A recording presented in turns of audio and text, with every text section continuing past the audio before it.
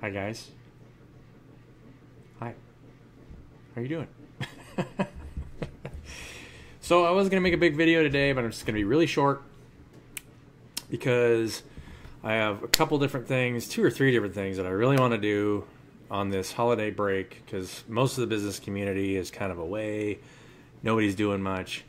Um, I have my son for a full week, so I want to make sure I'm spending enough time with him for the vacation break and then doing what I want to do kind of towards some projects.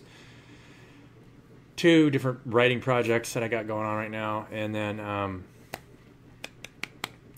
yeah, so I encourage all of you to do that, right? Especially take care of yourself, spend as much time as you can with family this time of year, and you know, don't feel like you need if you're the YouTuber or whatever. I don't know what you guys do, who's whoever's watching this. Don't feel like you need to get your put yourself out there all the time. You know, just take a break. It's okay. You're protected. Just you know, if there's any healing healing you got to do, you know, honor your emotions. I mean, that's what I've been doing.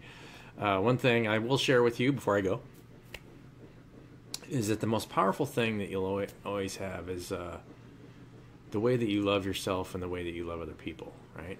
I mean, that's kind of a common theme on this channel. But um, honor whatever emotions, you know, come up and uh, realize that whatever happened to you is not your fault, especially when you were a little kid. You know, the environments we grow up are usually a mixture of different traumas that, that are trying to feed off of each other. So, um, you know, and if it feels like somebody, you know, did something to you, just understand that they don't weren't doing it to you; they were just doing it to themselves. But still, honor the emotions that you went through when that happened, because um, that will enable you to heal, so that it can't happen to you anymore. Right?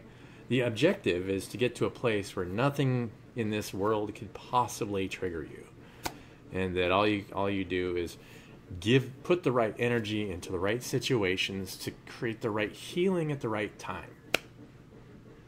So, I love you guys more than you can imagine.